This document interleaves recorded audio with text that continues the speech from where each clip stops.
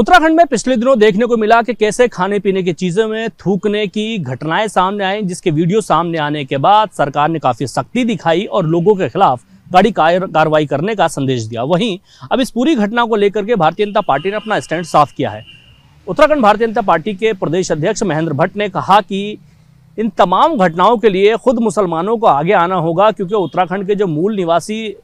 मुसलमान हैं, उनके कारोबार पे भी फ़र्क पड़ रहा है। और इस पूरी घटनाओं के लिए उनको खुद आवाज़ उठानी होगी, क्योंकि बाहर से आने वाले लोग उनके कारोबारों को ख़राब कर रहे हैं और उनके लिए मुश्किल का सामना करना पड़ रहा है। ऐसे में खुद मुसलमानों को आगे आना होगा और इस पूरी घटनाओं को लेकर के उन्हें ही आवाज़ उठानी होगी। और इसके लिए आवाज़ उठानी भी चाहिए, क्योंकि हमने देखा कि कैसे एक एक व्यक्ति आता है, वो अपना कारोबार जमाता है, उसके बाद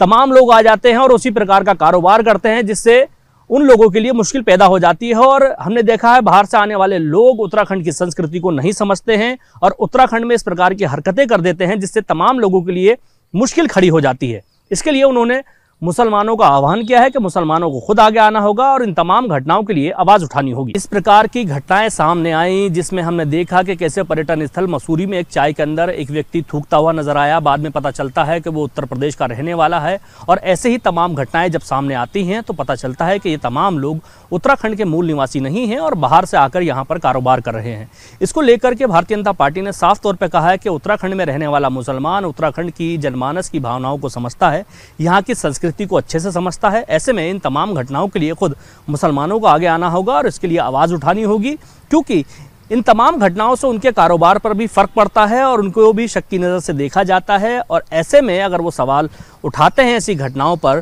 तो ये काफ़ी अच्छी बात होगी, क्योंकि ये उन्हीं के लिए बेहतर है कि उनके कारोबार सुधरेंगे। उनको इस बात का भी ख्याल रखना होगा कि बाहर से आने वाला व्यक्ति यहाँ पर कारोबार ना करें, अपने मकान, दुकानें उनको किराए पर ना दें, क्योंकि आज की तारीख में उनका कहना था कि तमाम लोगों के पास उत्तराखंड का आधार कार्ड है। आधार कार्ड बनाना कोई बड़ी बात नहीं है, लेकिन जिस तरह से घटनाएँ हो रही हैं प्रदेश में, उसके लिए खुद मुसलमानों को आगे आकर के खड़ा होना होगा।